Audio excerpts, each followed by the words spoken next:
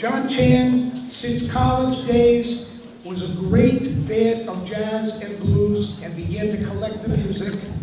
And when he was working at his parents' restaurant in Woonsocket after graduation, he said, what do you think if we try some music and see if it works?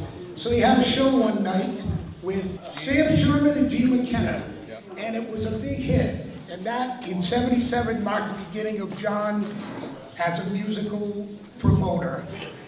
Chan's became known as one of the premier listening rooms and recording spots in music. He's going to continue this work for a long time to come, I hope. And I, 100 years. At least 100 years. I feel great. I feel very honored and uh, humbled by the whole uh, celebration.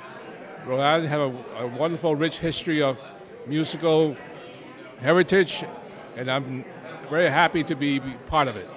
And we had that great event at uh, Chan's on Thursday night, yes, where you got inducted. Yes. Uh, how do you, how did, what were your feelings about that? Looking back on it just a couple days ago. I was really overwhelmed. Um, it was so great to see so many friends in the audience that night. So it was a fabulous evening all around.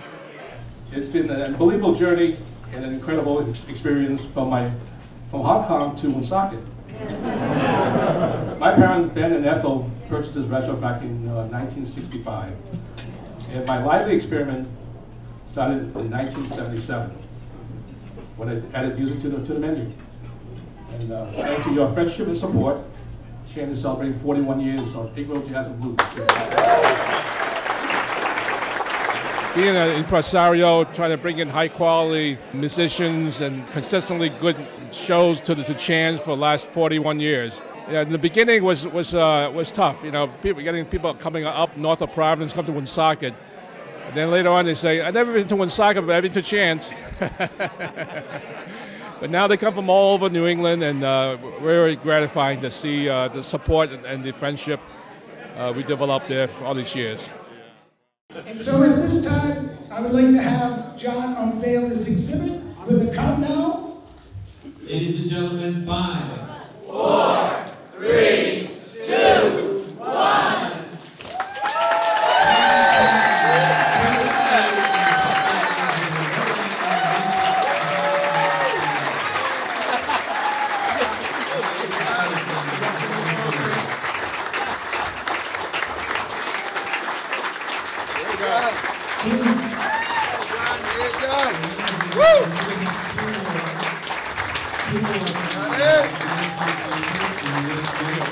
Woo!